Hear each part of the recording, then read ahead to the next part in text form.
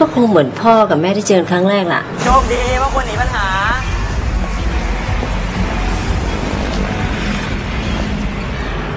พ่อขับรถมาเที่ยว ก็ขับรถผ่านแม่ไป เชื่อไหม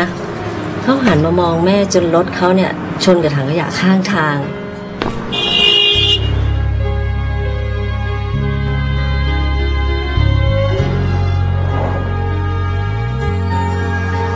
ความรู้สึกตอนนั้นนะ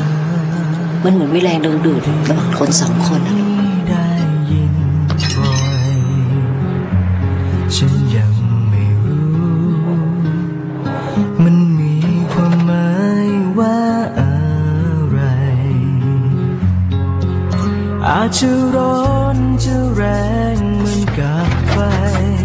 อาจจะเผาจนใจไม่เกลีย จเป็นฝนที่หนาวแน่ฉันก็ยอมและเชื่อไหมเพียงได้พ่อเขาเดินมาหาแม่ แต่เขาไม่รู้ตัวนะ ว่าเขาในยแขนหักจนเหน็ดหนาวจนแม่เนี่ย ต้องพาเขาส่งโรงพยาบาลจะเปียกฝนเท่าไรก็ยอม ฉันหวังแค่ให้มีคนที่ฉันรักยืนคอยตรงนั้นก็ชื่นใจ อยากมีรักจริงจริงสักที ไม่ว่าร้ายว่าดีฉันพร้อมแลกด้วยใจ เพราะว่าหมดทั้ง